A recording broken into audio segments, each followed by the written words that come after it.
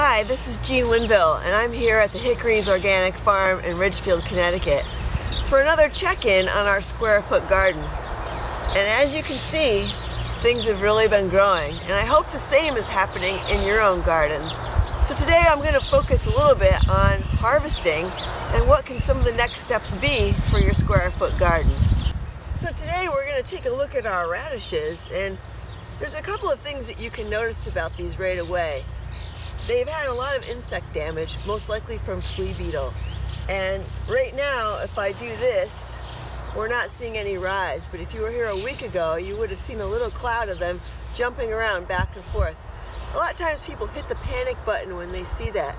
But most often than not, if we're just patient and kind of let nature take its course, things work their way out.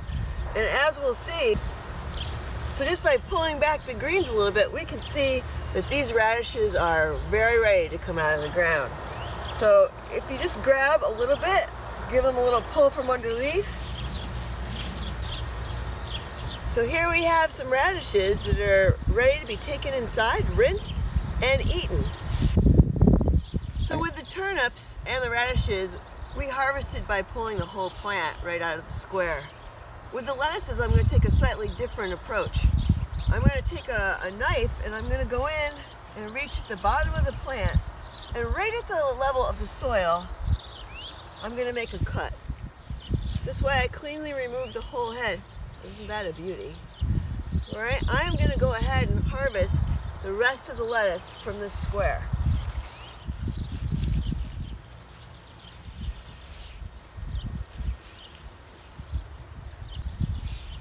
And again, look at the bounty from just that one square foot.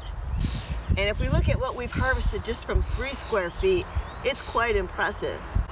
So now, in my square, I have the remains of the four roots of the plants. I'm gonna leave those in place. And what I'm gonna do is plant in the middle of them. So I'm gonna dig out a hole and I'm going to put in a new tomato plant.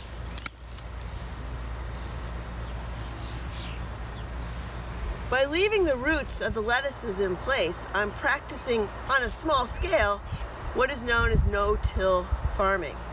By leaving the roots of the lettuces, they're going to gradually offer food to the tomato plant, which is a great way to enrich the soil in a very simple manner.